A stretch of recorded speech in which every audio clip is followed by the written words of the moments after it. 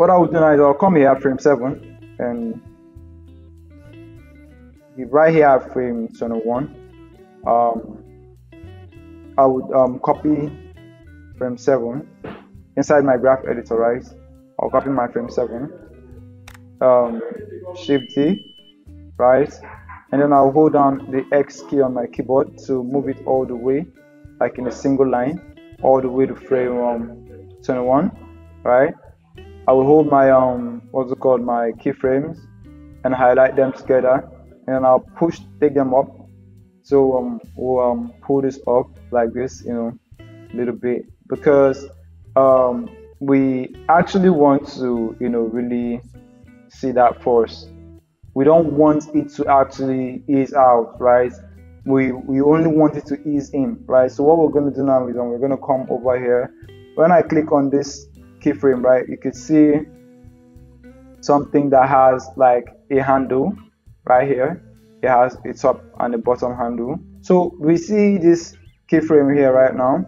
And if you if you watch closely the way the keyframe handles look they look like something that has like one little dot in the middle of them right?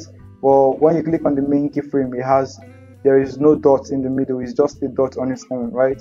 Right here right, i'm going to select this and what we want to do now is we want to break this tangents, right? This keyframe handles right? Is also known as tangents, right? What we want to do now is we want to break those tangents right? So i'll click here and now i'll um, go to let me just select it like this right?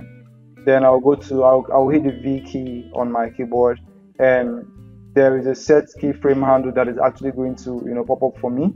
And you can also find that by you know going to keys you know key by going to key handle type and then you see free align vector automatic and auto clamped right? So what we want to actually pick on now is free right we'll click on the free. And what the free does is actually going to help us break that tangent so that we can actually be able to manipulate it individually right? Because when they are actually together right you can you know really manipulate one from the other except to actually make them free of you know themselves.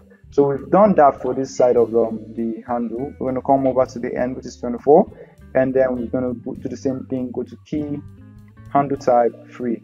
And now we're going to you know move this one right? That is making us have this curve right? Not this one at the back right? You know we are looking for a good curve right here. Because this is actually what you know determines the speed of our ball right? So if we have as long as we have that ball or as long as we have the graph editor you know slanted the way it was before we are always going to be having um, our easing out right? So but we don't want that. So right now we have the ball actually you know falling you know faster and also going up the way it's supposed to right so we're to come here push something up like this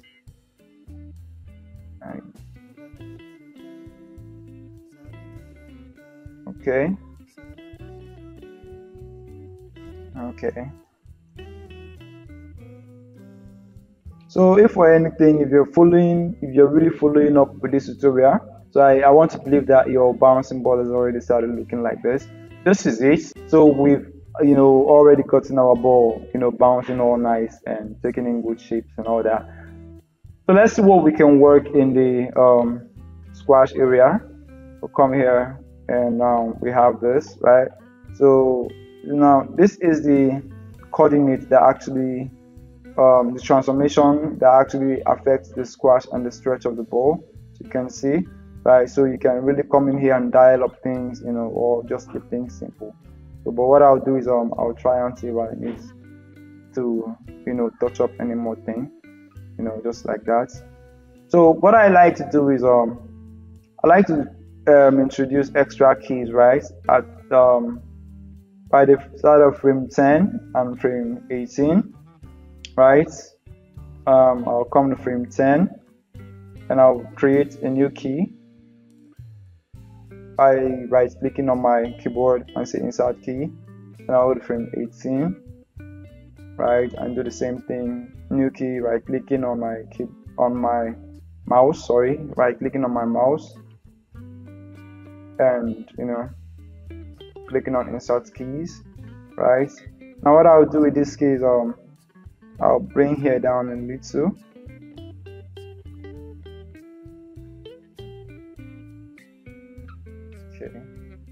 something like this. Something like this. And I'll come all the way up here break this handle right. Um free make this one look something like this a little bit. You know while still having like this you know rounded type of you know motion on the top. And we'll come here and you know we also do the same thing make this guys free. And um you know something like that would do. So let's play this and see. So this is what we have. So let's see. Let's see if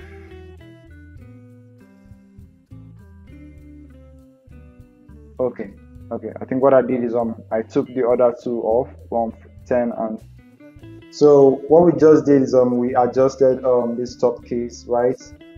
Just adjusted this top case you know and you know remove the other extra keys that we've already added. So our ball is you know really bouncing all nice you can see it's beginning to look like it really has life you know. So now if we look um at our um motion path right? Um let me go over to this guy and let me update it.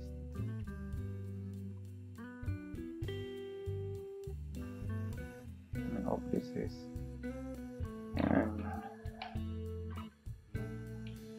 we look at our motion path, you know we can see that we have our ball you know really coming down you know with speed really coming down with speed right here because the ski, the ski frames are you know scanty. Um, really going up with speed sorry. And also when it gets to the up right when it gets to the top right it eases in right? You know it slows down right? And then it begins to come back down again you know because of the force that is you know exerting right? It begins to stretch you know changing um shape over time right and you know falls back down again you know with speed right?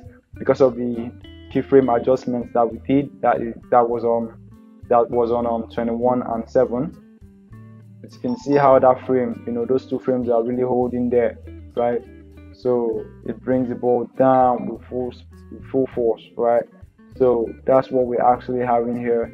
So what I'm trying to show you is I'm trying to tell you that um, you can still keep, you know, pushing, you know, that you can actually push any of these, you know, controllers, you know, on the ball while creating your your ball. So you can see how this motion is actually looking right now. So yeah, and okay so yeah this is the motion that I actually have now which I'm actually you know satisfied with yeah so if you if you've gotten to this stage so that means you've actually you know concluded your first bouncing ball training you know um, in blender. Yep. You're welcome